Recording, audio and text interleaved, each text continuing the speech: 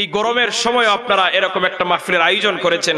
এজন্য আমার ব্যক্তিগত তরফ থেকে আপনাদেরকে আন্তরিক অভিনন্দন ও মোবারকবাদ জানাচ্ছি। মহান মালিকের দরবারে আরেকটা শুকুর আদায় করি।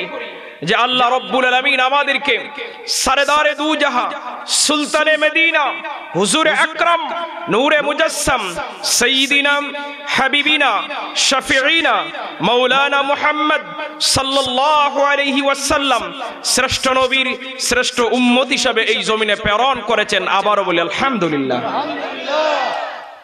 আল্লাহর কোরআনুল করিম থেকে তিরিশ পারা সোরা বুরুজের প্রথম দিকে কয়েকটি আয়াতে করিমা তেলাওয়াত করেছি।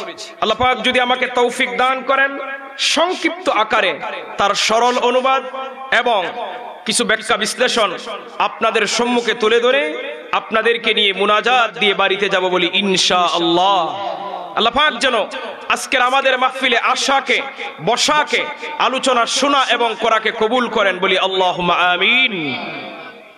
কোনো ভূমিকা নয়। সরাসরি আমরা আলোচনায় প্রবেশ করব। সুরা বুরুজের এই আয়াতে করিমার মধ্যে মহান আল্লাহ রব্বুল আলমিন এক শ্রেণির ইমানদার মুমিন বান্দাবান্দিদের আলোচনা করেছেন। ইমানদার মুমিন বান্দাবান্দিদের আলোচনা করতে গিয়ে আমার আল্লাহ রব্বুল আলমিন চারটা শপথ করেছেন। আল্লাহ পাক যদি কোরআনুল করিমে কোন একটি কথা বলেন, আদেশ দেন।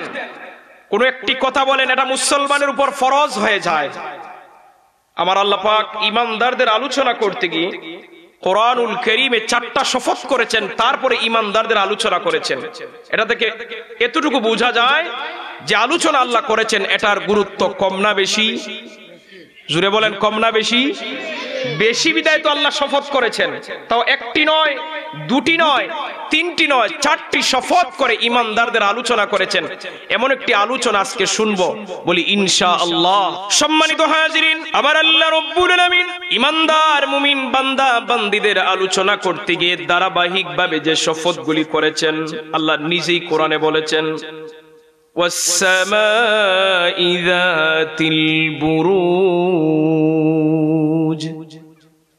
শপথ আকাশের এবং আকাশের সুশোভিত তারকারাজি সমূহের আমরা যে আমাদের মাথার উপরে বিশাল শূন্য আকারে দেখি দাঁড়িয়ে আছে আকাশ, আল্লাহ নিজে তার আকাশের শপথ করেছেন এবং আকাশের দিকে তাকালে আমরা আকাশের মধ্যে হাজার নয় লক্ষ লক্ষ তারকাগুলি দেখি, ছোট ছোট জিলমিল বাতির মতো। তারকাগুলি দেখা যায় কিনা? একটু কথা বলেন, দেখা যায় কিনা? আকাশের মধ্যে যে তারকা দেখা যায়, দেখতে আমাদের কাছে মনে হয় জিলমিল বাতির মতো, কিন্তু না। আকাশের তারকাগুলি দেখতে যেরকম, আসলে তেমন নয়, বরং এর চিঠি বিশাল বড় বড়। ছোট না বড়? তারকা অনেক বড় বড়। কত বড়? আমি একটু উদাহরণ দিয়ে আপনাদেরকে বলি। এই যে আমাদের বাংলাদেশের এরিয়া, এক লক্ষ ছাপ্পান্ন হাজার পাঁচশো সত্তর বর্গ কিলোমিটার। বাংলাদেশের আয়তন। এই এর ভিতরে চৌষট্টি জেলা রয়েছে বাংলাদেশে। এখানে কোন আল্লাহর গোলাম রয়েছেন যিনি চৌষট্টি জেলা ঘুরে বেড়াইছেন? একজন আমরা আপনাদের যেতে সফর বেশি করেছি, কিন্তু চৌষট্টি জেলায় এখনও যাওয়া হয় নাই। যদি আল্লাহ কবুল করেন, ভবিষ্যতে যাইতে পারি। তার মানে বাংলাদেশটা পৃথিবীর মানচিত্রের তুলনায় ছোট হলেও আমাদের কাছে কিন্তু অনেক বড়। আচ্ছা আপনারা বলুন তো, বাংলাদেশের পার্শ্ববর্তী রাষ্ট্র বন্ধু বড় রাষ্ট্র, ভারত, ছোট না বড়? আপনারা কি বেজার হইতেছেন? আমি যে প্রশ্ন করতেছি আপনাদেরকে, একটু কথা বলিয়েন। ভারত, ছোট না বড়? অনেক বড়। বাংলাদেশের মতো পঁচিশ ত্রিশটা রাষ্ট্রের সমান আমাদের পার্শ্ববর্তী রাষ্ট্র ভারত। ভারতই কি বড়? না, এর চিতে আরও বড় রাষ্ট্র আছে। এই যুবক ভাইয়েরা, তোমরা যে খেলা দেখো, ব্রাজিল, আর্জেন্টিনার জন্য পাগল হয়ে যাও, নামাজ, রোজা বাদ দিয়ে দাও। ফজরের নামাজের সময় উঠতে পারো না, কিন্তু ঠিকই খেলার দিন রাত তিনটার সময় সজাগ থাকো, ঠিক কিনা বলেন? খেলা আসলে পরে দেখবেন সারা রাত সজাগ থাকে। ফজরের পরে খেলা হলে এই দিন সজাগ থাকে, তারপর নামাজ পড়ে না। সেই ব্রাজিল আর্জেন্টিনা আয়তনের দিকে ভারতের চিতে আরও বড়। শুধু এই দুই রাষ্ট্র বড় না, এর চিতে বড় কানাডা, এর চিতে বড় আমেরিকা। পৃথিবীর সবচেয়ে বড় রাষ্ট্রের নাম হলো রাশিয়া, যার আয়তন হলো এক কোটি সতেরো লক্ষ কিলোমিটারের চেয়ে আরও বড়। বাংলাদেশের মতো সত্তর থেকে আশিটা রাষ্ট্রের সমান। বর্তমানে ইউক্রেনের সাথে যুদ্ধরত অবস্থায় আছে। এই যে বিশাল বড় পৃথিবী, সমস্ত পৃথিবী ভ্রমণ করেছেন, আপনাদের জানা মতো কোনো মানুষ আসেনি। একটু কথা বলবেন, আসেনি। সারা পৃথিবী ভ্রমণ করেছেন। খ্রিস্টানরা দাবি করে তাদের একজন গবেষক সারা পৃথিবী ভ্রমণ করেছে, কিন্তু তারা মিথ্যাবাদী। কেন জানেন? পৃথিবীতে এমন কিছু জায়গা আছে যা সাধারণ মানুষের পক্ষে ভ্রমণ করা সম্ভব নয়। অতএব তাদের দাবি মিথ্যা। আমার জানা মতো আল্লাহর একজন গোলাম ছিলেন, যিনি সমস্ত পৃথিবী দুইবার অথবা চারবার সফর করেছেন। আওয়াজ করে বলি সুবাহান আল্লাহ তা আমার জানা মতো বলতে আমার যুক্তি দিয়ে নয়। আমার নিজস্ব কোনো বই পুস্তক থেকে নয়। ওই আল্লাহর গোলামের নাম, ওই আল্লাহর বান্দার নাম স্বয়ং আমার আল্লাহ রব্বুল আলামিন কোরআনুল করিমের মধ্যে পনেরো পারা সূরা কাহাফের মধ্যে উল্লেখ করে দিয়েছেন জুলকার নাইন সুবহানাল্লাহ বলেন। ব্যক্তিগত কথা নয়, আল্লাহর কোরআন আল্লাহ নিজেই বলেছেন জুলকার নাইন আল্লাহর বান্দা জুলকার নাইন আমার আল্লাহ রব্বুল আলামিন এই সমস্ত পৃথিবীর বাদশাহী মোট চারজন মানুষকে দান করেছিলেন। দুইজন ছিল কাফের, দুইজন ছিল মুসলমান। কাফের একজন হলো বাদশাহ নমরুদ, আরেকজন হলো মুখতে নসর মুসলমানদের দুইজনের মধ্যে একজন হলো বাদশাহ সুলাইমান, যিনি আল্লাহর নবীও ছিলেন। আরেকজন হলেন বাদশাহ জুলকারনাইন, যিনি আল্লাহর অলি ছিলেন। সুবহানাল্লাহ বলেন। ওই বাদশাহ জুলকারনাইনকে আমার আল্লাহ রব্বুল আলামিন সাড়ে ষোলোশো বৎসর হায়াত দান করেছিলেন। আমাদের বাপ দাদা সদ্য গোষ্ঠীর হায়াত একত্রিত করল তার সমান হবে না। বাদশাহ জুলকারনাইন আমাদের হাতে গোনা আটচল্লিশ হাত লম্বা মানুষ ছিলেন। আল্লাহ রব্বুল আলামিন তাকে কারামত স্বরূপ একটা গুড়া দান করেছিলেন। বাদশাহ জুলকার নাইনের গুড়া যখন একটা লাভ দিত, এক লাভ দিলে বারো হাজার মাল চলে যাইত। আওয়াজ করে বলেন, সুবহানাল্লাহ। ওই আল্লাহর বান্দা আবে হায়াতের পানি তালাশ করতে গিয়ে পৃথিবীর উত্তর থেকে দক্ষিণ, পূর্ব থেকে পশ্চিম, সমস্ত পৃথিবী দুইবার অথবা চারবার ভ্রমণ করেছেন, কিন্তু আবে হায়াতের পানি ভাগ্যে জুটে নাই।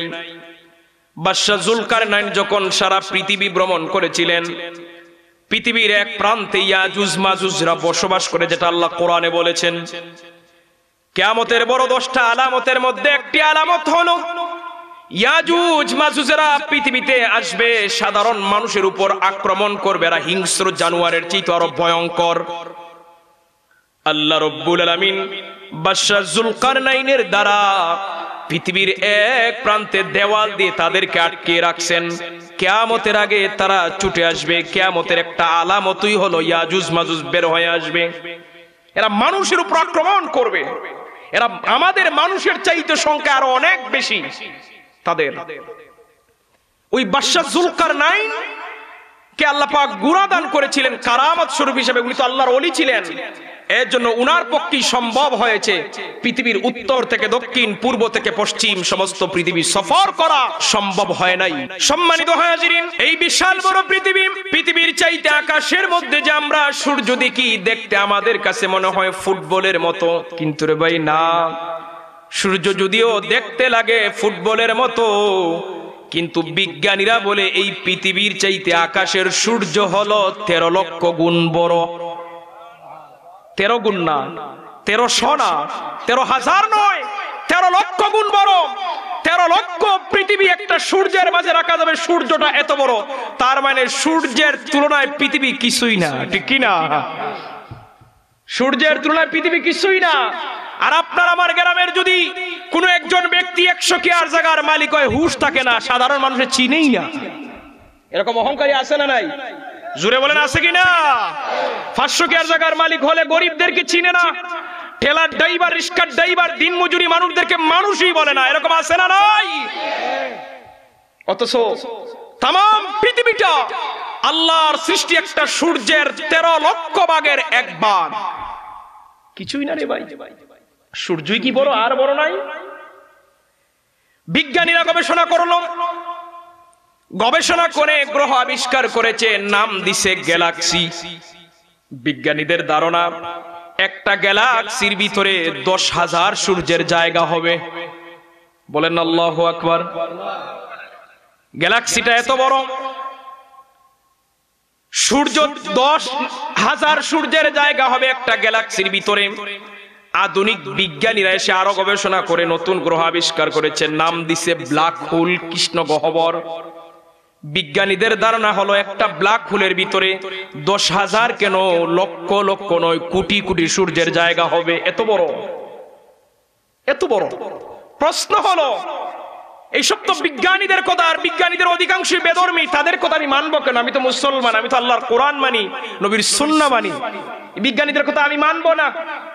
আমিও বলি মুসলমান হিসাবে বিজ্ঞানীর কথা কথা আমি কেন মানবো? আমি বিজ্ঞানীর কথা তখনই মানবো যখন দেখব বিজ্ঞানটা আল্লাহর কোরআনের সাথে আমার নবীজির সুন্নার সাথে মিলে গেছে। ঠিক কি না যেই বিজ্ঞান কোরআনের সাথে মিলবে না, আমার নবীজির সুন্নার সাথে মিলবে না, ওই বিজ্ঞান আমরা মানতে পারি? মুসলমান হিসেবে মানতে পারি না। কারণ বিজ্ঞান হলো কোরআনের কাছে ছাত্রতুল্য।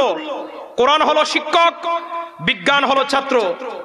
ছাত্রর কাজ হলো বারবার ভুল করা, শিক্ষকের কাজ হলো বারবার শুদ্ধ করে দেওয়া, ঠিক কি না যেমন আমি যদি বলি, আজ থেকে এখন তো দুই হাজার বাইশ সাল চলে, পনেরোশো সালের আগের কথা বলছি।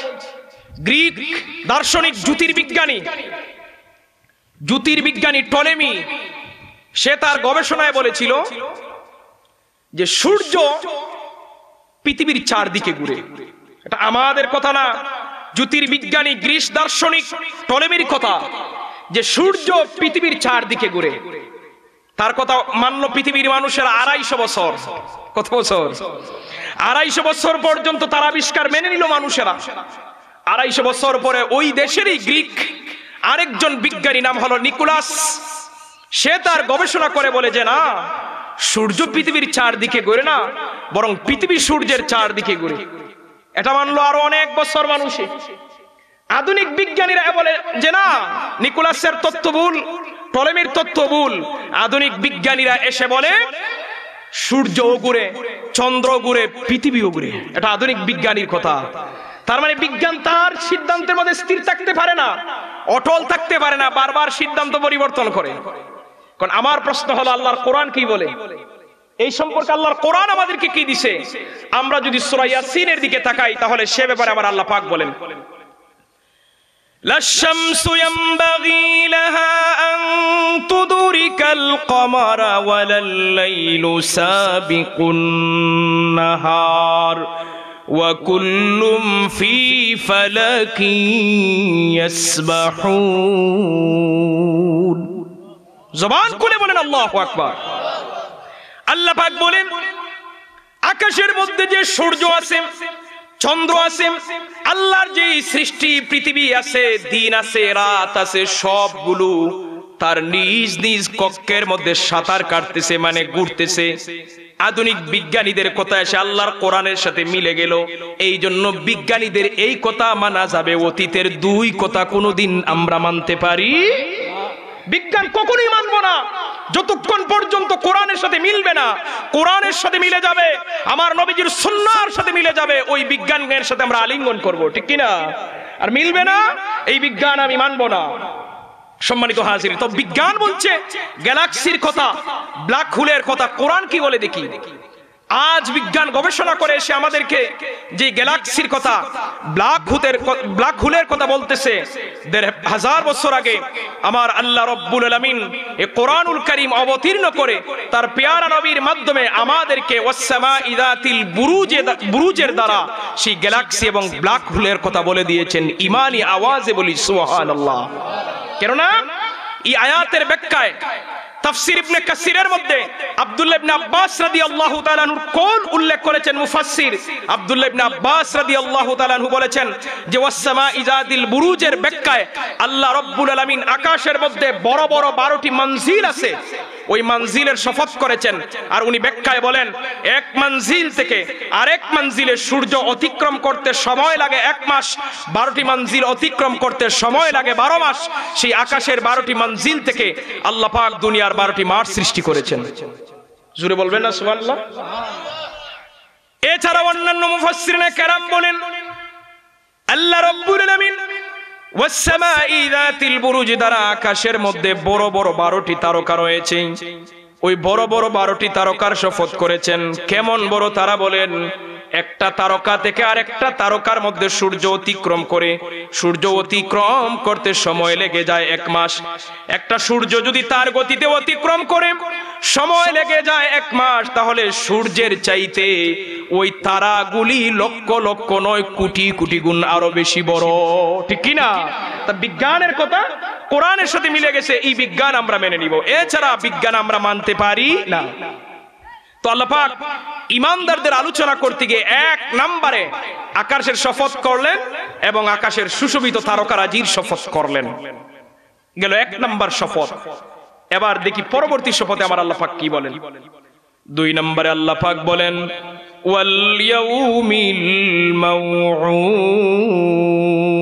শপথ হলো প্রতিশ্রুতি দিবসের। প্রতিশ্রুতি দিবসের ব্যাখ্যা করতে গিয়ে মুফাসসিরিনে কেরাম বলেন, কিয়ামত দিবসের। এই যে সুন্দর পৃথিবী দেখতেছেন, সুন্দর পৃথিবী একদিন থাকবে না, ধ্বংস হয়ে যাবে, কেয়ামত হয়ে যাবে, কেয়ামত হবে কিনা? এটার উপর ইমান আমরা আছে না নাই? একটু আওয়াজ করে বলেন, এর উপর ইমান আছে না নাই? এই সুন্দর পৃথিবী থাকবে না। আপনার সুন্দর গাড়ি, সুন্দর নারী, সুন্দর বাড়ি একদিন ধ্বংস হয়ে যাবে, কেয়ামত হয়ে যাবে। কেয়ামত কত বড় কঠিন হবে। একমাত্র আল্লাহ ছাড়া আর কেউ বলতে পারে না। কেয়ামত হলো দুই প্রকার, একটা হলো কেয়ামতে সুগ্রা আর একটা হলো কেয়ামতে কুবরা। ছোট কেয়ামত, বড় কেয়ামত। ছোট কেয়ামত হলো যখন সে মারা যাবে, তার জন্য এটা একটা কেয়ামত। এটা হলো ছোট কেয়ামত। প্রত্যেক মানুষ মৃত্যুর পরে তার কেয়ামত শুরু, এটা হলো ছোট। আর বড় কেয়ামত যখন আল্লাহ পাক একসাথে সমস্ত প্রাণীকে তার হাসরের মাঠে জমা করবেন। আল্লাহ রব্বুল আলামিনের একজন ফেরেশতা, যার নাম হলো ইসরাফিল আলাইহিস সালাতু ওয়াস সালাম উনার একমাত্র কাজ হলো আল্লাহর হুকুমে সিংহায় ফু দেওয়া। এছাড়া আর কাজ নাই। উনি সিংহা নিয়ে রেডি আছেন। আল্লাহ পাক যখন হুকুম করবেন, উনি ফু দিয়ে দিবেন। কিয়ামত হয়ে যাবে। কয়টা ফু দিবেন, এটা নিয়ে মুফাসসিরিনে কেরামদের মধ্যে ইখতিলাফ আছে। কেউ বলেছেন একটি ফু, কেউ বলেছেন তিনটি ফু। আমরা যদি তিনটি ফুকের ফুর ব্যাখ্যা করি তাহলে প্রথম যখন আল্লাহর হুকুমে উনি দিবেন, পৃথিবীর যত প্রাণী আছে, সমস্ত প্রাণীরা মারা যাবে। আকাশের চন্দ্রগুলি, সূর্যগুলি জমিনের উপর পড়ে যাবে, সমুদ্রের পানিগুলো উত্তাল হয়ে যাবে, পাহাড়গুলি দুলার বালির মতো উঠতে থাকবে, উঁচু বাড়ি আর থাকবে না। বিশতলা তিরিশ তলা একশো তলা বিল্ডিং থাকবে না চপ সব কিছু চূর্ণ বিচূর্ণ হয়ে উঠতে থাকবে। সম্মানিত হাজিরিন, দীর্ঘ সময় ধরে চলবে। আল্লাহর হুকুমে যখন দ্বিতীয় ফু দেওয়া হবে, আমার আল্লাহ রব্বুল আলামিনের ওয়ার্ডারে দ্বিতীয় ফু দেওয়ার সাথে সাথে কবরের ভিতরে যত মানুষ থাকবে, সব দাঁড়িয়ে যাবে। সমস্ত প্রাণীরা জীবিত হবে। মানুষেরা পাগলের মতো দৌড়াবে, এই অস্থিরতা দেখে পৃথিবীর অবস্থা দেখে। ওই মানুষের উপার্জিত সম্পদের টাকার বান্ডিল সোনা দানা হীরামণি মুক্তাগুলি জমিনের উপরের মধ্যে পড়ে থাকবে। একটা বার মানুষ পিছনের দিকে ফিরেও তাকাবে না, এই সম্পদের জন্য এত কষ্ট করলাম। মানুষ বলবে, আজ পৃথিবীর কি হয়ে গেল? পৃথিবী কেন তার দনবান্ডার, সব কিছু ছেড়ে দিতেছে, বের করে দিতেছে। মাটির ভিতরে সম্পদের অভাব নাই। মাটির ভিতরে গ্যাস আছে, তেল আছে, খনিজ সম্পদ আছে না, আছে কিনা? সোনা, রূপা, পেট্রোল, খনিজ যত সম্পদ আছে, আল্লাহর পক্ষ থেকে প্রাকৃতিক প্রাকৃতিক যত সম্পদ আছে, মাটি সব বের করে দিবে। মাটির ভিতরে লাশ আছে, বের করে দিবে। সব মাটির উপরে চলে আসবে। মাটির ভিতরে আর কিছুই থাকবে না। মানুষ সবাইকে বলে যাবে মা তার সন্তানকে বলে যাবে, স্বামী তার স্ত্রীকে বলে যাবে, ভাই তার বোনকে বলে যাবে, বন্ধু বন্ধুকে বলে যাবে, সবাই সবাইকে বলে শুধু পাগলের মতো নিজেকে বাঁচানোর জন্য দৌড়াতে থাকবে। সম্মানিত হাজিরিন, আল্লাহর ফেরেশতা আল্লাহর হুকুমে যখন তৃতীয় ফু দিয়ে দিবে, সাথে সাথে হাসরের মাঠ কায়েম হয়ে যাবে। হাসরের মাঠ কোন জায়গায় হবে তাও নিয়ে মুফাসসিরিনে কেরামদের মধ্যে ইখতিলাফ আছে। কিছু কিছু মুফাসসিরা কেরাম বলছেন পৃথিবীর মধ্যে হবে কারণ আল্লাহ কোরআনে বলেছেন, এই পৃথিবী আর উঁচু নিচু থাকবে না। পুকুর, নালা, পাহাড়, পর্বত সব সমতল হয়ে যাবে। তামাম পৃথিবী একটা মাঠ হয়ে যাবে খেলার মাঠের মতো। আল্লাহ পাক পৃথিবী তো হাসের মাঠ কায়েম করতে পারেন, আবার উর্দু জগতে আল্লাহ যেখানে ভালো মনে করেন, অন্য জায়গায় হা- হাসরের মাঠ কায়েম করতে পারেন। হাসরের মাঠে যখন মানুষ উঠবে, সবাই ইয়া নফসি ইয়া নফসি করবে। সবাই নিজেকে বাঁচানোর জন্য পাগলের মতো দৌড়াবে। একমাত্র আপনার, আমার নবী ওই কঠিন হাসরের মাঠেও নিজের জন্য চিন্তা না করে উম্মতের জন্য কান্নাকাটি করবেন, উম্মতের জন্য চিন্তা করবেন, ইয়া হাবলি, ইয়া উম্মতি, সুবহানাল্লাহ বলেন। ওই নবীর ভালোবাসার দরকার আছে না নাই? জুড়ে বলেন, আছে কিনা? নবীর সাফায়াত ছাড়া কেউ জান্নাতে যাইতে পারবে? আজকে এই দুনিয়ার মানুষেরাই আমাদের মতো লেবাস পরিধান করে সাধারণ মুসলমানের সামনে জুরালু ভাষায় বক্তৃতা দিতেছে যে হাসরের মাঠে এমন কি নবীজিও সুপারিশ করতে পারবেন না? আওয়াজ করে বলেন, নাউজুবিল্লাহ। এরকম আছে না নাই? আজকে ইউটিউব ফেসবুকে যদি আপনারা দেখেন, এই আহলে হাদিস মাজহাবিরা আমাদের সাধারণ মুমিন মুসলমানদেরকে, সরল মনা মুসলমানদেরকে ধোঁকা দিচ্ছে যে হাসরের মাঠে নবীজিও বেলে পেরেশানের মধ্যে থাকবেন, নবীজি বেলে উম্মতের জন্য সুপারিশ করবেন না। জুড়ে বলেন না, নাউজুবিল্লাহ। অথচ নবীজির সুপারিশ ছাড়া হাসরের বিচার কার্য আল্লাহ শুরুই করবেন না। নবীজির সুপারিশ ছাড়া কেউ জান্নাতেও যাইতে পারবে? আমার নবীর সুপারিশে বিচার কাজ শুরু হবে। আমার নবীর সুপারিশে উম্মতেরা জান্নাতে যাবে। সম্মানিত হাজিরিন হাসরের মাঠ, এটা দুনিয়ার মাঠের মতো না। সেই জায়গার মধ্যে একমাত্র বিচারক হবেন আমার আল্লাহ। আর একমাত্র সুপারিশকারী হবেন নবী মুহাম্মদুর রসুল্লাহ এই দুইজন ব্যতীত সারা আর কেহ নাই। একজন সুপারিশকারী আর একজন বিচারক সমাধানকারী। এছাড়া আর কেহ নাই। আপনি জিন্দিগিতে যতগুলি আমল করবেন, সব কিছুর হিসাব আল্লাহর দরবারে হবে। আপনি গোপনে যা করেছেন, প্রকাশ্যে যা করেছেন, সারা জিন্দিগির হিসাব আল্লাহর সামনে দেওয়া লাগবে কিনা? মিজানের পাল্লা রেডি আছে। এখন আধুনিক মিটারের পাল্লা বের হয়েছে। আধুনিক মিটারের পাল্লার নিয়ম হলো আপনি পাল্লার উপরে একটা জিনিস রাখবেন। কত গ্রাম হবে, কত কেজি হবে অটোমেটিক উঠবে। টাকার রেট দিয়ে দিলে অটোমেটিক কত টাকা হয়, আরেক দিকে উঠে যাবে। ঠিক তেমনি ভাবে হাসরের মাঠে মিজানের পাল্লায় যখন মানুষ দাঁড়াবে, একদিকে নেকি উঠবে আর একদিকে বদি উঠতে থাকবে। সম্মানিত হাজরিন, এই যে মানুষের হিসাব নিকাশ করার জন্য আল্লাহর পক্ষ থেকে প্রহরীরা নিযুক্ত আছে। এই যে আমাদের ভাই ক্যামেরা করতেছে। আমি এখন যেইভাবে কথা বলতেছি, হুবহু আপনারা দুই দিন পরেই দেখবেন ফেসবুকে ইউটিউবে এই বক্তব্য দেখবেন। যতদিন থাকবে ততদিন দেখতে পারবেন, কোনো পরিবর্তন নাই। আমি এখানে যেভাবে কথা বলছি, হুবহু আপনারা দেখবেন। ঠিক তেমনি ভাবে আল্লাহর বাহিনীরা আল্লাহর স্পেশাল ফোর্স আছে ফেরেস্তারা আছে যারা আমার সা- আমাদের সারা জিন্দগির সব আমল নামা তারাগুলি ভিডিও করে নিয়ে যাচ্ছে হাসরের মাঠে সব দেখা যাবে সুবহানাল্লাহ বলবেন এই বিশ্বাস আসেনি আমরা থাকতে হবে আল্লাহ পাক কোরআনে বলেছেন وَإِنَّ عَلَيْكُمْ لَحَافِظِينَ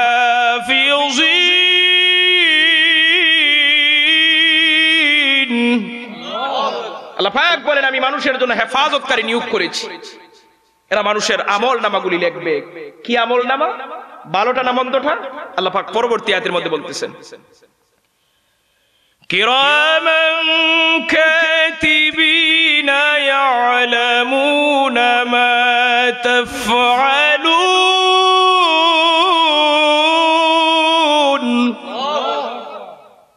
তারা হলো সম্মানিত লেখক বৃন্দ। কিরামান কাতিবিনা ইয়ালামুনা মা তাফআলুন।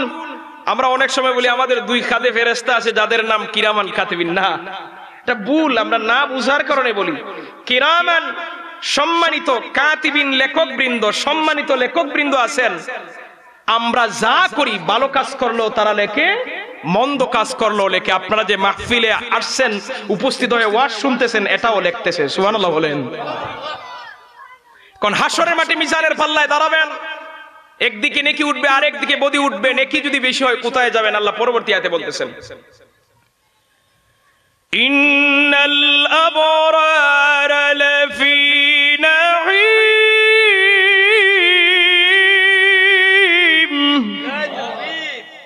আওয়াজ করে বলেন, আল্লাহু আকবার। আল্লাহ পাক বলেন আল্লাহ পাক আটটা জান্নাত বানাইছেন আটটা জান্নাতের মধ্যে একটার নাম হলো জান্নাতুন নাগিম বান্দার যদি নেক আমল বেশি হয় আল্লাহ জান্নাতুন নাগিমের মধ্যে দাখিল করে দিবেন আর যদি বদি বেশি হয় কোথায় যাবেন তার পরবর্তী আয়াতে আল্লাহ পাক বলে দিবেন وإن الفجار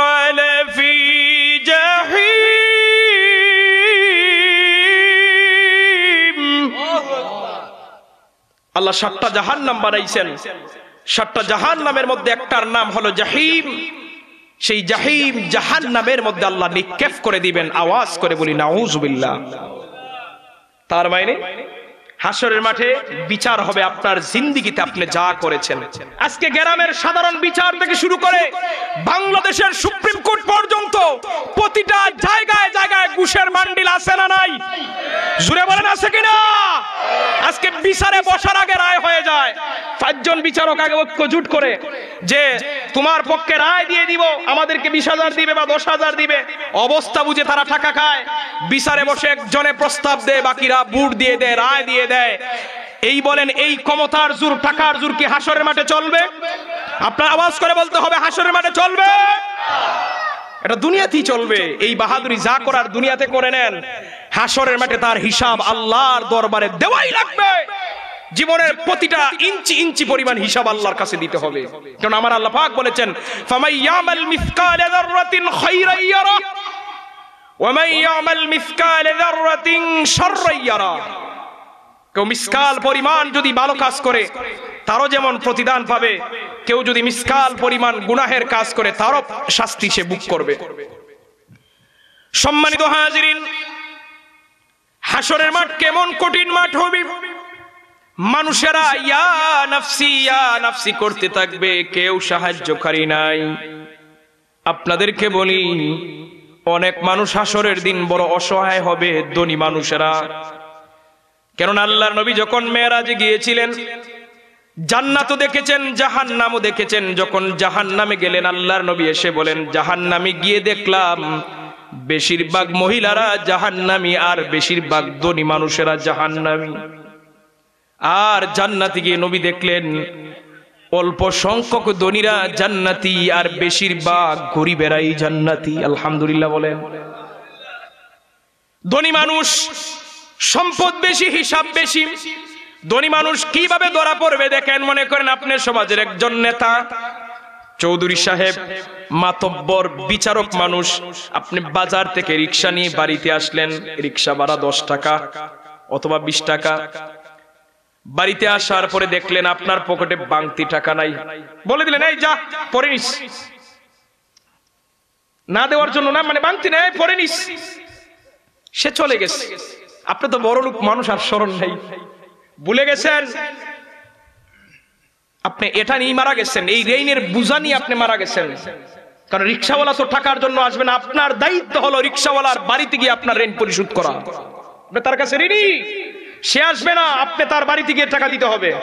সে আপনার কাছে পাওনা দা মনে করেন বলে আপনি ভুলে গেছেন। আপনি মারা গেছেন। ওই ব্যক্তি হাসরের মাঠে উঠছে, আপনিও উঠছেন।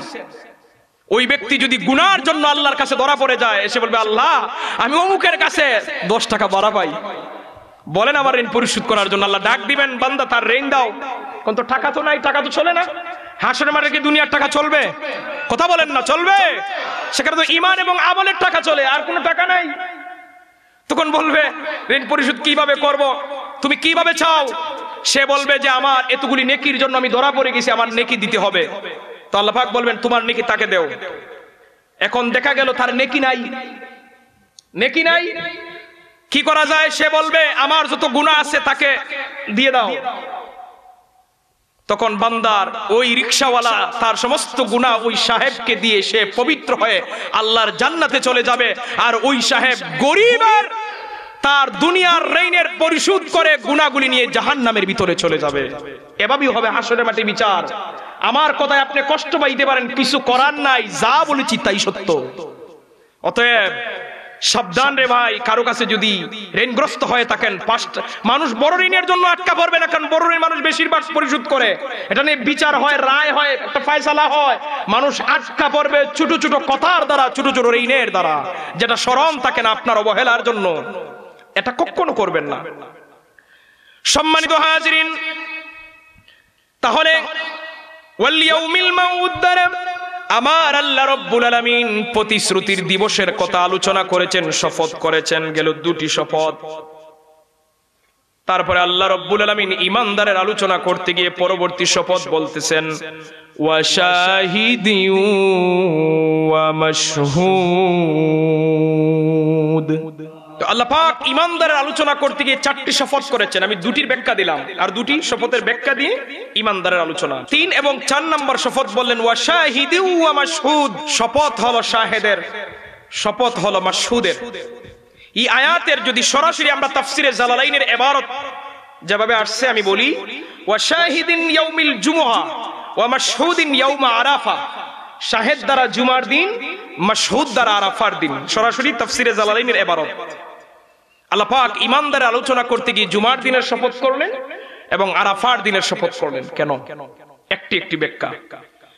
জুমার দিন হলো মুসলমানদের কাছে একটি পবিত্র দিন, দামি দিন। জুমার দিনে মুসলমানরা চতুর্দিকে আল্লাহর ঘরে জমা হয়।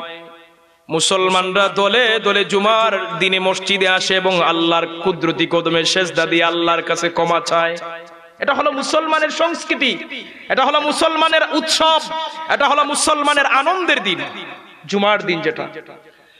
জুমার দিনকে বলা হয় সঈদুল আইয়াম। সরদারের দিন, সাত দিনের মধ্যে সবচেয়ে সম্মানিত দিন হলো জুমার দিন।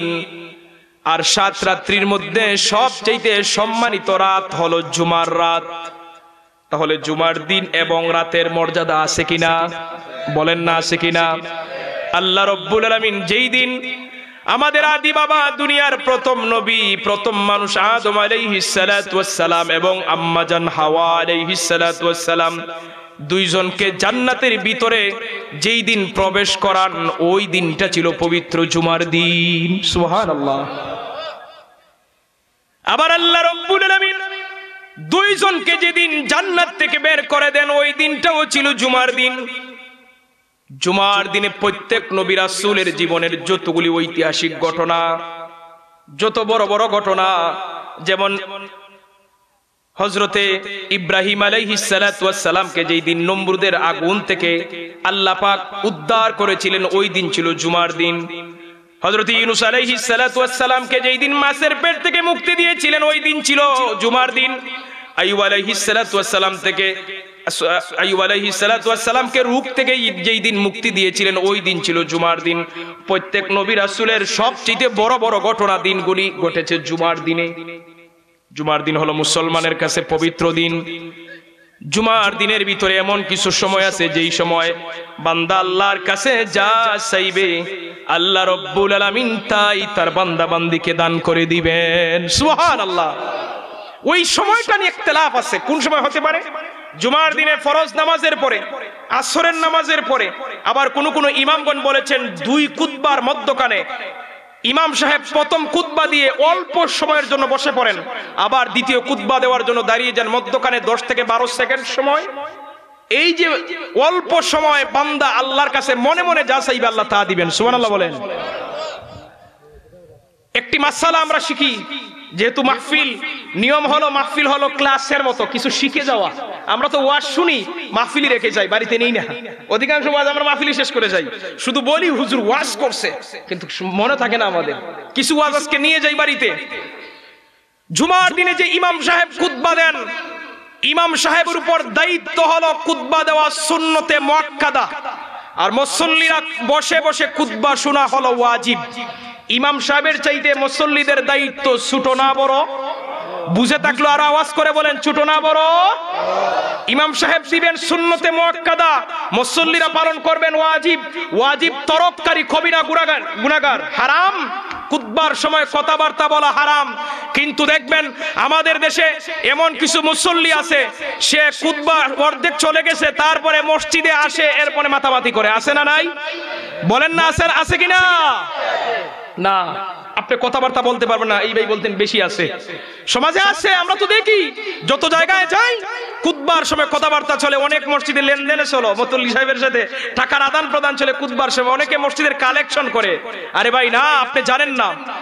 আল্লাহর নবী বলেছেন, মানব জাতির আমল নামাগুলি লেখার জন্য আল্লাহর পক্ষ থেকে ফেরেস্তা নিয়োজিত আছে, কিন্তু জুমার দিনে ওই নিয়মিত ফেরেস্তারা লেখে না।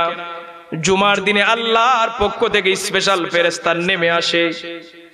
ওই আল্লাহর ফেরেস্তাদের হাতের মধ্যে স্বর্ণের খাতা থাকে, রুফার কলম থাকে।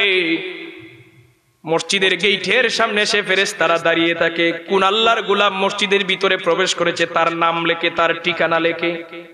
আল্লাহর নবী বলেন, যখনই ইমাম সাহেব খুতবা দেওয়া শুরু করে দেন আল্লাহর নূরের ফেরেশতারা তাদের লেখালেখি বন্ধ করে দিয়ে তারাও মুসল্লিদের সাথে বসে খুতবা শোনা শুরু করে দেয়। শুধু আপনি, আমি খুতবা শুনি না, আল্লাহর ফেরেশতাও শুনে। খুতবা শুরু হওয়ার পরে যেই ব্যক্তি মসজিদে আসে, ওই ব্যক্তির নাম তালিকাভুক্ত হয় না। হাসের মাঠে যখন আমল নাম আল্লাহ দিবেন, বান্দা বলবে, আল্লাহ, আমি তো ওই জুমায় ছিলাম মসজিদে, আমার নাম নাই কেন? আল্লাহ পাক বলবেন, খুতবা শুরু হওয়ার আগে আসো নাই কেন? কুতবা শুরু হওয়ার আগে আসো নাই কেন? এই জন্য নাম নাই। অতএব কুতবা শুরু হওয়ার পরে আপনি জুমা পড়লেই কি না পড়লেই কি আপনার নাম তালিকায় উঠবে না? তালিকায় উঠতে গেলে কুতবার আগে যাওয়া লাগবে। এখন আপনি গেলেন সব করার জন্য নেকি করার জন্য। আপনি কথাবার্তা বলে হারাম গুণা আপনার আমল নামায় নিয়ে আসতেছেন আপনার খবরই নাই। তাহলে কুতবার সময় কথাবার্তা বলা কি? হারাম আওয়াজ করে বলেন কুতবার সময় কথাবার্তা বলা কি? কিছু মাতব্বর আছে দেখবেন কিছু মানে না। সমস্ত মানুষের ডিঙ্গিয়ে একবারে সামনের কাতারে যায়। আসে না নাই? না। আপনি আগে আসবেন আগের কাতারে পরে আসবেন পরের কাতারে। কারণ মসজিদের ভিতরে আল্লাহর কাছে বান্দার মাঝে কোনো পার্থক্য নাই। এই জায়গার মধ্যে পার্থক্য আছে। আমি বক্তা আমার স্টেজে বসাইছেন। আপনাদের সম্মানিত মানুষদেরকে আমার পাশে বসাইছেন আপনারা নিচে বসে আছেন। এখানের মধ্যে কিছুটা পার্থক্য আছে। কিন্তু যখন মসজিদে আপনি নামাজের মধ্যে যাবেন একমাত্র ইমাম ছাড়া আর কারোর মধ্যে কোনো পার্থক্য আছে? তখন মন্ত্রী এবং তার ড্রাইভার পাশাপাশি দাঁড়াইবে। চেয়ারম্যান এবং তার সচিব পাশাপাশি দাঁড়াইবে। কোনো বাধা নাই, ছাত্র শিক্ষক পাশাপাশি দাঁড়াবে। কোনো বাধা দেওয়ার অধিকার নাই। অতএব মসজিদের ভিতরে মাতব্বরি যদি করেন, তিনি একজন, উনার নাম কি? আপনাদের এলাকায় মনে হয় অন্যজনে করেন, এই জন্য বলতেছেন না আপনারা। মসজিদের মধ্যে মাতব্বর কে? কিন্তু না, আপনারা তো ইমাম সাহেব মাতব্বরি করতে দেন না। ইমাম সাহেব শুধু মিম্বরে বসা আছেন। আমি বলি কি, বাংলাদেশের মিম্বর ঠিকই আছে, কিন্তু মিম্বরের ক্ষমতা নাই। মিম্বরটা শূন্য আকারে ইমাম সাহেব বসে আছেন, কিন্তু মিম্বর চালাইতেছেন সভাপতি সাহেব, মতুল্লি সাহেব, সেক্রেটারি সাহেব। মানে কমিটি যেভাবে বলে, ইমাম সাহেব ওইভাবে চলেন। এরকম ইমাম সাহেব আছে না নাই? উনি চাকরির বয়ে অনেক সময় করেন। আর অনেক ইমাম সাহেবরা হক কথা বলেন, এই জন্য চাকরি বেশি দিন থাকে। কথা বলেন না, থাকে? না। বহু ইমাম সাহেব আছেন বাংলাদেশে, সুদের ওয়াজ করে চাকরি গেছে, ঘুষের ওয়াজ করে চাকরি গেছে। এমন এক মসজিদে আমি আমার কথা বলি, যে ইমাম সাহেবের চাকরি গেছে, ঘুষের ওয়াজ করে। ওই ইমাম সাহেবের, ওই মসজিদে আমার ইমামতি হইছে ঘুষের ওয়াজ করে। কারণ আমি জানছি যে ইমাম সাহেবের চাকরিটা গেছে সুদ ঘুষের ওয়াজে। তা আমার কথা হলো চাকরি যদি হয় সুদ ঘুষের ওয়াজ করি হবে, না হলে দরকার নাই। আমি কিন্তু সুদ ঘুষের ওয়াজ করে আমার চাকরি হয়েছে। আলহামদুলিল্লাহ বলতে পারলেন না? সম্মানিত হাজিরিন, তাহলে মসজিদের ভিতরে একজন নেতা, একজন মাতব্বর, উনি হলেন ইমাম সাহেব। যে এলাকার মধ্যে ইমাম সাহেবকে মানুষেরা মান্য করবে, শ্রদ্ধা করবে, সম্মান দিবে। ইমাম সাহেব যদি হক্কানি আলেম হন আর ইমামকে যদি সাধারণ মানুষেরা মান্য করে, ওই গ্রামের মধ্যে আল্লাহর রহমত নাজিল হবে। যেই গ্রামের মধ্যে ইমামের প্রতি সম্মান নাই, আলেমদের প্রতি ইজ্জত নাই, আলেমদের কোনো মূল্যায়ন নাই, ওই গ্রামে আল্লাহর রহমত আসবে না, গজব নাজিল হবে। আপনার গ্রামের আলেমদেরকে কদর করা শুরু করে দেন। হক্কানি আলেমদেরকে যত বেশি আপনার গ্রামে সম্মান দিবেন, কদর করবেন গ্রামের চিত্র পরিবর্তন হয়ে যাবে। যেই গ্রামের মধ্যে মাদ্রাসা আছে, মসজিদ আছে যারা এই মাদ্রাসার সেবা করে, তাদের ইজ্জত সম্মান বেড়ে যায়, এলাকার চিত্র পরিবর্তন হয়ে যায়, মাদ্রাসার উসিলায় এলাকা উন্নত হয়ে যায়। কথা বলেন ঠিক কিনা? আরে ভাই, ফুলতুরি গ্রামকে কেউ চিনতো না। এক আল্লাহর অলির উসিলায় ফুলতুলি গ্রামকে সারা বিশ্বের মানুষে চিনে, কথা বলেন ঠিক কিনা? নাহলে ফুলতুলি গ্রাম নামে কেউ চিনতো না। সম্মানিত হাজিরিন, কিন্তু একজন এক আল্লাহর অলির উসিলায় আজকে ফুলতুলি গ্রামকে সারা পৃথিবীর মানুষে চিনে কিনা? আপনারা মনে চিনেন না? একটু জুড়ে কথা বলবেন আমার সাথে। সম্মানিত হাজিরিন, তাহলে জুমার দিনের শপথ আল্লাহ পাক করলেন, ইমানদারের আলোচনা করতে গিয়ে চার নাম্বার শপথ করলেন আরাফার দিনের কেন? মুসলমানদের হজের একটা অন্যতম রুকন হলো আরাফার ময়দানে অবস্থান করা। আরাফার ময়দানে যাওয়া হলো ফরজ যারা আল্লাহর বাড়িতে হজ করতে যায়। জিলহজ মাসের নবম তারিখে আল্লাহর যে সকল মায়ার বান্দা বান্দিগণে আরাফার ময়দানে অবস্থান করবে, আরাফার ময়দানে গিয়ে যত গুণা নিয়ে যাবে, আল্লাহর কাছে যদি ক্ষমা চায়, আমার আল্লাহ রব্বুল আলামিন সমস্ত গুনাহ মাফ করে পবিত্র বানিয়ে তার বান্দা বান্দিকে বাড়িতে পাঠিয়ে দেন যারা আল্লাহর বাড়িতে হজ আদায় করতে যায় এবং আরাফার ময়দানে যায়। আরাফার ময়দানে গেলে গুনাহ মাফ। কীভাবে মাফ হবে? একটা বাচ্চা যেইভাবে পৃথিবীতে আসে পবিত্র হয়ে, ঠিক তদ্রুপ ভাবে একজন বান্দা বান্দি আরাফার ময়দান থেকে পবিত্র হয়ে বাড়িতে ফিরে। সুবহানাল্লাহ বলতে পারলেন না? সম্মানিত হাজিরিন, একটা শর্ত আছে। আপনি যে আল্লাহর বাড়িতে হজ করতে যাবেন, ওই টাকাটা হালাল হওয়া লাগবে। কি? হালাল। হারাম সম্পদ ব্যয় করে আরাফার ময়দানে কেন? পবিত্র কাবাগরের ভিতরে যদি আপনি গিয়ে দোয়া করেন, ওই দোয়া আল্লাহ রিসিভ করবেন না। আপনার সম্পদ হালাল হওয়া চাই, যদি দোয়া কবুল হতে চায়। সম্মানিত হাজিরিন, আল্লাহ পাক যেন আমাদের সবার জিন্দিগিতে জীবনে একবার হলে যেন মকবুল হজ নসিব করে দেন বলি আল্লাহ আমিন। চারটি শপথ শেষ, কটি শপথ? চারটি শপথের পরে এবার আমার আল্লাহ পাক বলেন قتل أصحاب الأخدود النار ذات الوقود ধ্বংস হয়েছিল সেই কুণ্ডের অধিপতিরা যেই কুণ্ডের মধ্যে ছিল উত্তপ্ত আগুন এটা হলো সরল অনুবাদ ব্যাখ্যা কি এই আয়াতের ব্যাখ্যায় আমি যতটা তাফসির পড়ছি প্রত্যেকটা তাফসিরের মধ্যে মুফাসসিরিনে কেরাম একটি হাদিস উল্লেখ করেছেন। অনেক বর্ণনা দিয়েছেন, অনেক হাদিস উল্লেখ করেছেন। কিন্তু সব মুফাসসিরিনে কেরাম একটা হাদিসকে উল্লেখ করেছেন। সেটি হলো সহি মুসলিমের দুই হাজার দুইশো নিরানব্বই নম্বর হাদিস।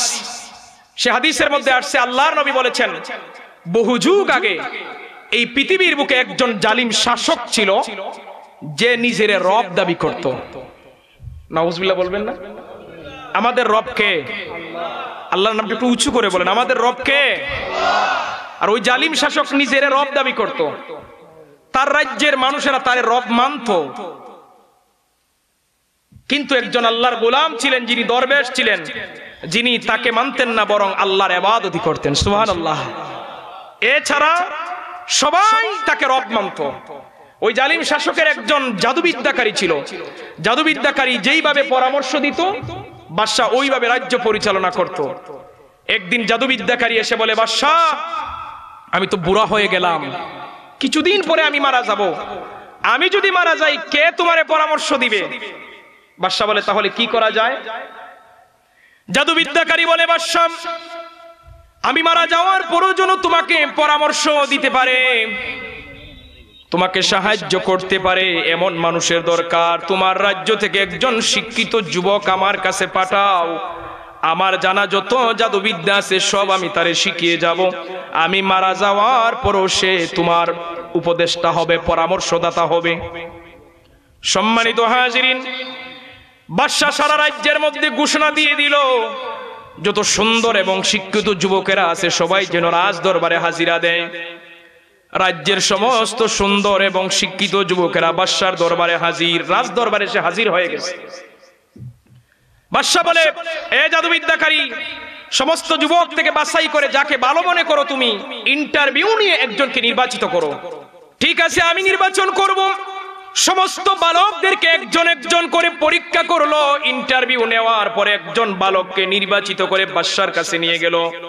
গিয়ে বলে, বাদশাহ এই হলো নির্বাচিত একজন বালক। বাকি সবাইকে বের করে দিল। বাদশাহ বলে, রে বালক, প্রতিদিন সকাল বেলা তুমি রাজ দরবারে আসবে। ওই জাদু বিদ্যাকারীর কাছ থেকে জাদু শিখবে। বিকাল বেলা তুমি তোমার বাড়িতে যাবে। বাদশার দেওয়া রুটিন অনুযায়ী, ওই বালক প্রতিদিন সকাল বেলা রাজ দরবারে আসে জাদু বিদ্যাকারীর কাছ থেকে জাদু শিখে বিকাল বেলা তার বাড়ির মধ্যে ফিরে। তার বাড়ির দিকে রওনা দিবে। ওই আল্লাহর অলি দরবেশ মানুষ রাস্তায় দাঁড়িয়ে আছেন, বলেন, রে বালক, তুমি প্রতিদিন এই রাস্তা দিয়ে কোথায় যাও? বালক বলে, প্রতিদিন রাজ দরবারে যাই, জাদুবিদ্যাকারীর কাছ থেকে জাদু শিখে বিকাল বেলা বাড়িতে যাই। আল্লাহর ওলি নিজের পরিচয় গোপন রেখে বলেন, বালক, আমি যদি তোমারে আরেকটা জিনিস শিক্ষা দিই, তুমি কি গ্রহণ করবে? যারা মেধাবী ছাত্র, তাদের বৈশিষ্ট্য দেখবেন নির্ধারিত পাঠ্যপুস্তক ছাড়াও তারা অতিরিক্ত কিছু বই পড়ে। অভ্যাস আছে না নাই? যারা মেধাবী ছাত্র। বালক বলে এটা আমার জন্য সুবর্ণ সুযোগ। একদিকে জাদুবিদ্যাকারী পড়াইবে, আরেকদিকে আপনিও পড়াইবেন, এটা তো ভালোই। কিন্তু জাদুবি, এই বালক তো জানে না উনিকে উনি উনার নিজের পরিচয় গোপন রেখে বললেন, ঠিক আছে, প্রতিদিন যাওয়া আসার রাস্তায় তুমি আমার সাথে সাক্ষাৎ করবে। আমি তোমারে নতুন আরেকটা জিনিস শিক্ষা দিব। আল্লাহর দরবেশ মানুষ এবার প্রতিদিন বালককে রুটিন করে। আল্লাহর পরিচয় শিক্ষা দিতে লাগলেন। ইমানি আওয়াজে বলি সুবাহান আল্লাহ বালক একদিকে, জাদুবিদ্যাকারীর কাছ থেকে জাদু শিখে। অন্যদিকে আল্লাহর অলি দরবেশের কাছ থেকে আল্লাহর পরিচয় জানে। দীর্ঘদিন যাবৎ দুটি বিদ্যা যখন একজন বালক অর্জন করতে লাগল, কিছুদিন পরে তার হৃদয়ের মাঝে একটা অশান্তি তৈরি হয়ে গেল, জ্বালা তৈরি হয়ে গেল। জাদুবিদ্যাকারী আমাকে জাদু শিখায়, এটা তো আমি জানি, কিন্তু দরবেশ আমারে কি পড়ায়? আমি তো জানি না, দরবেশের বিদ্যা নেওয়ার পর থেকে কেন আমার হৃদয়ের মধ্যে এত জ্বালা তৈরি হলো? বালকের হৃদয়ে প্রশ্ন জাগছে, বালক সিদ্ধান্ত নিছে আজকে গিয়ে ওই দরবেশকে আমি শক্ত করে ধরবো। এই মা দরবেশ, তুমি আমারে কি পড়াইতেছো? তোমার বিদ্যা নেওয়ার পরই কেন আমার এত জ্বালা? এত অশান্তি তৈরি হলো? আমাকে ব্যাখ্যা দাও। বালক নিয়ত করে তার বাড়ি থেকে বের হয়েছে। বালক তার বাড়ি থেকে বের হয়ে রাস্তায় গেল। রাস্তায় গিয়ে দিকে হাজার হাজার মানুষ রাস্তার মধ্যে দাঁড়িয়ে আছে। আর মানুষদের সামনে একটা অপরিচিত জানুয়ার দাঁড়িয়ে আছে। জানুয়ারের বয়ে কেউ পথ চলতে পারতেছে না। এমন বড় জানুয়ার, এমন অপরিচিত জানুয়ার, হিংস্র জানুয়ার বালক নিয়ত করছে। এখনই আমি পরীক্ষা করে দেব, পরীক্ষা করে দেখব। জাদুবিদ্যার পাওয়ার বেশি না, দরবেশের বিদ্যার পাওয়ার বেশি? আচ্ছা আপনারা বলেন তো, কোনটার বেশি হবে জাদুবিদ্যার না দরবেশের বিদ্যা? ই বিশ্বাস আমরা আসেনি? আমরা তো সেই পরীক্ষা করুক। বালক নিয়ত করছে, যেটার শক্তি বেশি হবে ওটা রাখব যেটা দুর্বল ছেড়ে দিব। বালক সমস্ত মানুষকে ডিঙ্গিয়ে সামনে গেছে। সামনে গিয়ে ছোট্ট একটি কড়া পাথর নিয়েছে ছোট পাথর, মনে করেন এমন পাথর, যে পাথর দিয়ে একটা মুরগিও মারা যাবে না। বিশাল বড় জানোয়ার মারার জন্য ছোট পাথর হাতে নিচ্ছে। ছোট্ট পাথরটি হাতে নিয়ে জানোয়ারের উপর ছেড়ে দিবে। ওই সময় তার জবান দিয়ে একটি বাক্য চলে আসছে। কি বাক্য? এটা হাদিসের এবারতে আসছে। আমি কোনো কিচ্ছা বলতেছি না। সহি মুসলিমের দুই হাজার দুইশো নিরানব্বই নাম্বার হাদিসের এবারত। বালক ছোট্ট পাথরটি হাতে নিল। পাথরটি সারার সময় তার জবান দিয়ে চলে আসলো। আল্লাহুম্মা ইন কানা আমরির রাহিব। আহাব্বা ইলাইহি মিন আমরিস সাহির। হে আল্লাহ, জাদুবিদ্যা কারির চেয়ে যদি দরবেশের বিদ্যা আপনার কাছে বেশি মায়া লাগে, পছন্দ লাগে, ভালো লাগে, ছোট্ট পাথরটি সারার সাথে সাথে যেন জানোয়ারটি মারা যায়। জুড়ে বললেন না সুবাহান আল্লাহ বালক ছোট্ট পাথরটি ছেড়ে দিল, ছটফট করতে করতে জানোয়ারটি মারা গেল। বালকের বিশ্বাস এসে গেল যে জাদুবিদ্যার মাঝে কোনো ফাওয়ার ফাওয়ার যদি তাকে দরবেশের বিদ্যায় আস, দৌড় দিয়ে গেছে আল্লাহর ওই দরবেশের কাছে, গিয়ে বলে, দরবেশ, বাড়ি থেকে নিয়ত করেছিলাম যে তুমি আমারে কি পড়াইতেছো আজকে জবাব দিবে। যেই প্রশ্ন নিয়ে বাড়ি থেকে বের হয়েছিলাম, সেই প্রশ্নের জবাব আমি রাস্তায় পেয়ে গেলাম। আর জবাব আপনাকে দেওয়া লাগবে না, আমি রাস্তায় পেয়ে গেছি। এই দরবেশ, এই জাদুবিদ্যাকারী আমারে যা পড়াইছে সব ভুল পড়াইছে এটা আমাকে মুক্তির পথ নয়, আপনার বিদ্যায় মুক্তির পথ। এই ঘটনা বলার পরে দরবেশ তো অবাক। দরবেশ বলে, রে বাবা, কি বলো তুমি? এত বড় ঘটনা ঘটে গেছে, তুমি তো আমার চাইতে আরও বড় কামেলদার হয়ে গেছো। সুহান তুমি আমার চাইতে আরও উচ্চ স্তরে চলে গেছো। ছাত্র অনেক সময় ইলিমের দিকে উস্তাদের চাইতে বড় হতে পারে কিনা? কথা বলেন, পারে কিনা? যদি আমরা যদি ফুলতুলি সাহেব কিবলা রহমাতুল্লাহ আলাইকে নিয়ে আমরা যদি উদাহরণ দেই, উনি ইলমে কেরাতের দিকে, কোরআনের খেজমতের দিকে উনার অনেক উস্তাদের তাদেরকে উনি অতিক্রম করেছেন। কথা বলেন, ঠিক কিনা? আজকে একমাত্র একজন আল্লাহর অলি ফুলতুলি সাহেব কিবলাম রহমাতুল্লাহ আলাইহির উসিলায় শুধু বাংলার জমিন কেন, সারা পৃথিবীতে লক্ষ লক্ষ মানুষের আল্লাহর কোরআনকে সহি শুদ্ধভাবে শিক্ষা করার সুযোগ লাভ করেছে কথা বলেন ঠিক কিনা? দরবেশ বলে, বাবা, তুমি আমার কাছে আর আসিও না, আল্লাহর দিন প্রচার করতে থাকো। বাদশাহ যদি কোনোদিন তোমারে আসামি করে, আমার নাম বলিও না। তুমি তোমার দিন প্রচার করতে থাকো। আল্লাহ পাক ওই বালকের দুটি গুণ দান করলেন। এক নাম্বার গুণ হলো, বালক যদি কোনো অন্ধ লোকের চোখে হাত দেয়, সাথে সাথে অন্ধ লোক ভালো হয়ে যায়। ওই বালকের কাছে কঠিন রোগে মানুষ আক্রান্ত হয়ে আসলে বালক ফু দিলে সাথে সাথে ভালো আচ্ছা এটা আমাদের নবীর উম্মত না, নবীজি নিজে বর্ণনা করেছেন হাদিস, বহু যুগের আগের ঘটনা, অন্য নবীর উম্মত, ওই বালক। অন্য নবীর উম্মত একজন বালকরে যদি এই ক্ষমতা দিতে পারেন, আখেরি নবীর উম্মত কি আল্লাহ পারেন না? কথা বলেন না, আরও বেশি দিতে পারেন। অনেকে দেখেন অনেকে যেমন আমার এই আল্লাহর অলিদের কারামত বিশ্বাস করে না, এই হাদিস আমাদের জ্বলন্ত প্রমাণ। কেরামত আছে না নাই? কথা বলেন, আছে কি না অনেকে বলে, ওই যে ফুলতুলি সাহেব কিবলা রহমাতুল্লাহ আলের অনেক কারামত আছে যেটা আপনারা সাক্ষী মুরব্বিয়ানে কেরাম যারা আছেন আলেম উলামা যারা আছেন, যে অনেক কঠিন রোগে আক্রান্ত, মনে করেন তার পেটে পাথর ধরা পড়ছে। এখন ডাক্তার অপারেশনের ডেট দিছে। সে ভাবলো, অপারেশন করানোর আগে একটু সাহেবের কাছ থেকে দোয়া নিয়ে আসি, গেছে সাহেব বাড়িতে। আল্লাহর অলির কাছে গেছে যে সাহেব আগামী অত তারিখে আমার অপারেশন হবে? পেটের মধ্যে পাথর ধরা পড়ছে। তো সাহেব পানি ভরা দিছেন, তেল ভরা ফু দিয়ে দিছেন। অপারেশন করতে যাবে। এখন আবার পরীক্ষা করে তো অপারেশনের আগে পরীক্ষা করে দেখে পাথর নাই। এরকম ঘটনা আছে না নাই? বলেন না, আছে কিনা? হুসুকে ফুলতুলি যারা মানে অন্ধভক্ত যারা, এরা মনে করে ফুলতুলি সাহেব কিবলা রহমাতুল্লাহ আলাই এটাই মনে বড় কেরামত। না, এটা একটা ছোট্ট কেরামত। এটা ফুলতুরি সাহেব কিবলা রহমাতুল্লাহ আলাই একটা ছোট্ট কেরামত। আরে ভাই, এইরকম কেরামত তো অন্য নবীর উম্মত কে আল্লাহ দিবেন আখেরি নবীর উম্মতকে তো আরও বড় ক্ষমতা দিবেন। ঠিক কিনা বলেন? এরকম শত শত কারামত আছে কিনা? আছে। সম্মানিত হাজিরিন, ফুলতুলি সাহেব কিবলা রহমাতুল্লাহ আলাইহির সবচেয়ে বড় কেরামত হলো কোরআনের খেদমত। এটাকে আমরা কেরামতি মনে করি না। এই যে রমজান মাসে দারুল কেরাদের খেদমত, এটাকে কেরামতি আমরা ভাবি না। যেমন আল্লাহ রসুলের মুজিজার মধ্যে একটি মুজিজা আছে, উনি শাহাদতি আঙ্গুলি দ্বারা চন্দ্রকে দুই ভাগ করেছেন। আমরা মনে করি আল্লাহ নবীর মনে এটাই সবচেয়ে বড় মুজেজা। না, এটা ছোট্ট মুজেজার মধ্যে একটি মুজেজা। আল্লাহ নবীর সবচেয়ে বড় মুজেজা হলো আল্লাহ নবীর উপর কোরআন অবতীর্ণ হওয়া। সুহান বলেন। আল্লাহ নবীর উপর যে কোরআন অবতীর্ণ হয়েছে, এটা হলো সবচেয়ে বড় মুজিজা। সাহাবায়ে কেরাম এসে আম্মা জান আয়েশা সিদ্দিকা রাদিয়াল্লাহু তাআলা আনহার কাছে এসে বলেন, আম্মা জান, আপনি তো নবীর স্ত্রী। আর একজন স্ত্রী স্বামীর ভালো খবর রাখেন।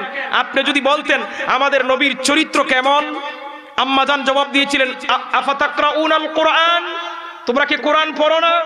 সাহাবায়ে কেরাম জবাব দিয়েছিলেন ক্বালু বালা হ্যাঁ আমরা তো পড়ি। আম্মাজান জবাব দিয়েছিলেন, কানা হুলুকুহুল কোরআন। পবিত্র কোরআনই হলো আমার নবীর চরিত্র। কোরআনের যেই দিকে আলোচনা করবেন আমার নবীর শান, কোরআনের যেই দিকে আপনি আলোচনা করবেন আমার নবীর চরিত্র নিয়ে আলোচনা। হায় রে, আজকে নবী নবীর উম্মত হয়ে নবীকে আমরা চিনলাম না। কোরআন থেকে আলোচনা করে, অথচ সে, এটা যে আমার নবীর আলোচনা, আমার নবীর শান আলোচনার মানতে রাজি না। কোরআনের যেই দিকে আপনি আলোচনা করবেন, এটাই আমার নবীর শান। সুবহানাল্লাহ বলেন। আল্লাহ পাক ওই বালকরে দুটি গুণ দান করলেন। অন্ধ লোকের চোখে হাত দিলে অন্ধ লোক ভালো হয়। কুষ্ঠ রোগী সহ কঠিন রোগ মানুষদেরকে ফু দিলে কঠিন রোগ ভালো হয়ে যায়।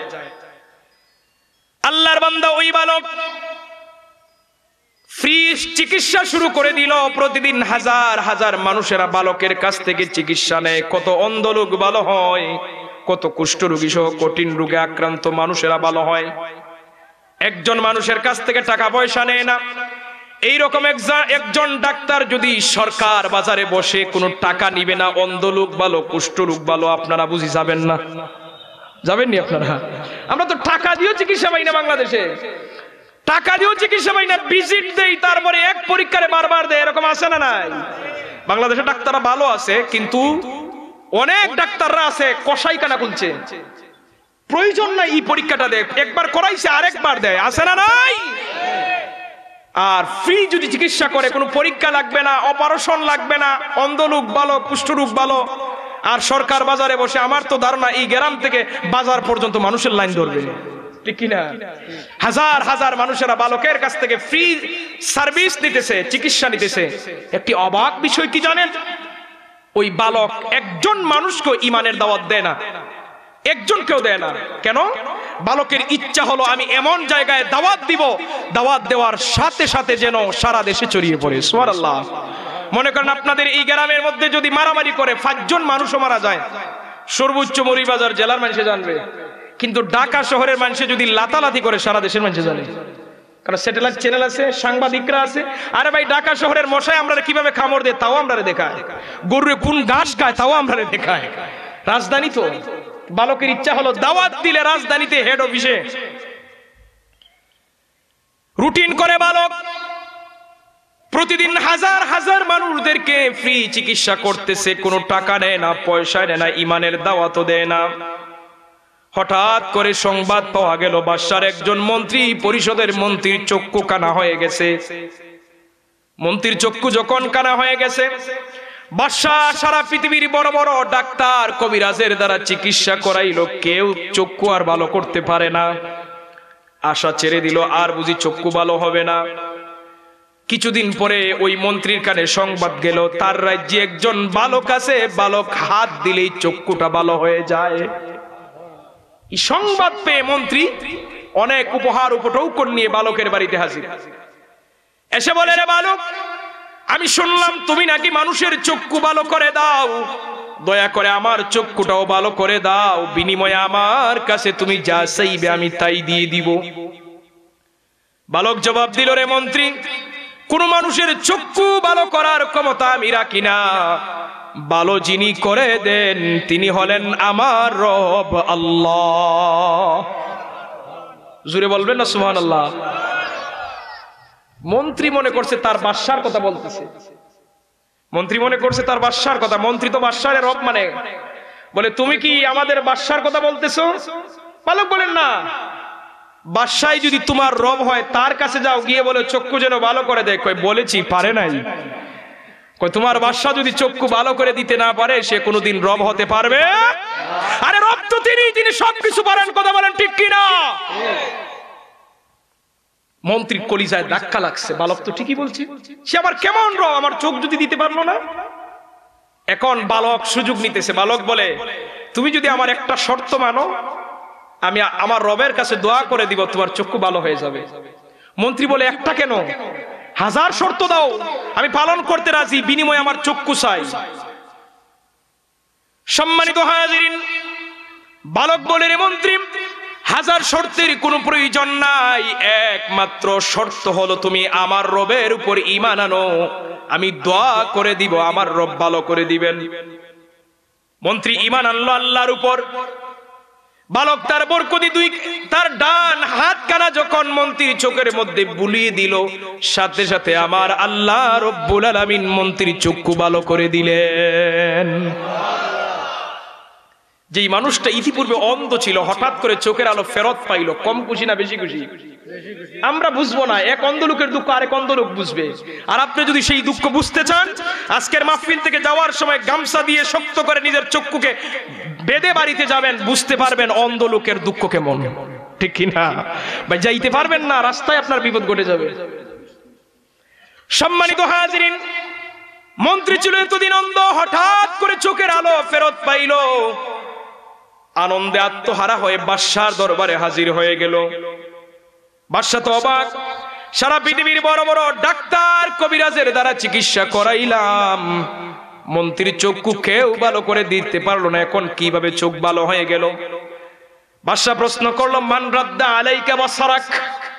কে তোমার চোখের আলো ফিরিয়ে দিল? ভালো করে বুঝেন। মান রাদ্দা আলাইকা বাসারাক? কে তোমার চোখে দৃষ্টি ফিরিয়ে দিল? মন্ত্রী জবাব দেয় কলা রব্বি আমার রব। খুশি মনে বলেন, সুবহানাল্লাহ। আবার বুঝেন, বাদশার প্রশ্ন, মান রাদ্দা আলাইকা বাসারাক? কে তোমার চোখের আলো ফিরিয়ে দিল? মন্ত্রী জবাব দিল কলা রব্বি আমার রব। সুবহানাল্লাহ। বাদশা তো অবাক, বলে, আওয়ালাকা রব্বু গাইনি আমি ছাড়াও কি তোমার রব আছে? তুমি তোমার রব মানো, আমি ছাড়াও কি তোমার রব আছে? মন্ত্রী জবাব দিল কলা রব্বি ওয়া রাব্বুকাল্লাহ, আমার রব যিনি, তোমার রব তিনি তিনি হলেন আল্লাহ। বাদশাহ বলে, কিরে, আমার রাজ পরিবারই দেখি মন্ত্রী পরিষদের মধ্যে দেখি শত্রু বনে গেল। সাথে সাথে বাদশাহ ওই মন্ত্রীকে আসামি করল। তাকে রিমান্ড দেওয়া শুরু করে দিল। মন্ত্রীকে রিমান্ড দেওয়ার পরে মন্ত্রী বলে দিল, ওই বালকের কথা বাদশার বাহিনীরা বালককে ধরে নিয়ে গেল। বালক বলে দিল, ওই আল্লাহর উলি দরবেশের কথা। আসামি কয়জন? পিছনের বাইরে আওয়াজ করে বলেন, কয়জন? বাদশাহ বলে, দেখো, সারা রাজ্যের ভিতরে তোমরা তিনজন ছাড়া আমার আর কোনো শত্রু নাই। আন্দিনিক, যেই ধর্ম গ্রহণ করেছে, ওই ধর্ম থেকে ফিরে আসো। যদি ফিরে আসো, আমার রাজ দরবারে থাকা খাওয়ার ব্যবস্থা হবে। আর যদি ফিরে না আসো, সবাইকে আমি হত্যা করে ফেলব। বাদশাহ বলে, দেখো দরবেশ, তুমি এক নাম্বার আসামি। তুমি বানাইছো বালক রে বালকে বানাইছে মন্ত্রীকে। তোমরা তিনজন ছাড়া আমার কোনো শত্রু নাই। বাদশাহ এক নাম্বারে দরবেশকে ধরে বলো, দরবেশ, ইরিজি আন্দিনিক যেই ধর্ম গ্রহণ করেছ, ওই ধর্মে থেকে ফিরে আসো। দরবেশ জবাব দিল, রে বাদশাহ, জীবন যদি চলে যায়, জীবন যাবে।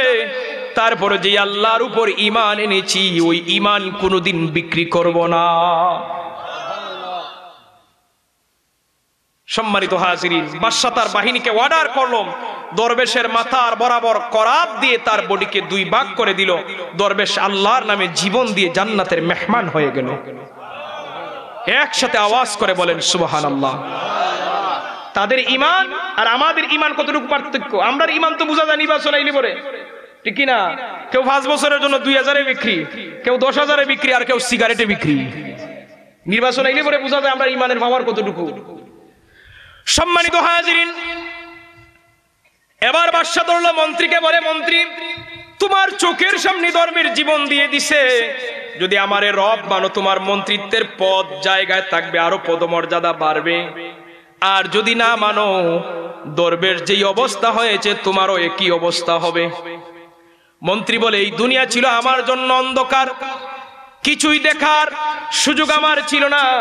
কিন্তু আমার আল্লাহ রব্বুল আলমিন আমাকে দয়া করে সুন্দর পৃথিবী দেখার সুযোগ করে দিয়েছেন। ওই আল্লাহর প্রতি ইমান এনেছি। জীবন যদি যায়, জীবন যাবে, তারপরও তোমার কাছে মাথা নত করব না। সুবহানাল্লাহ!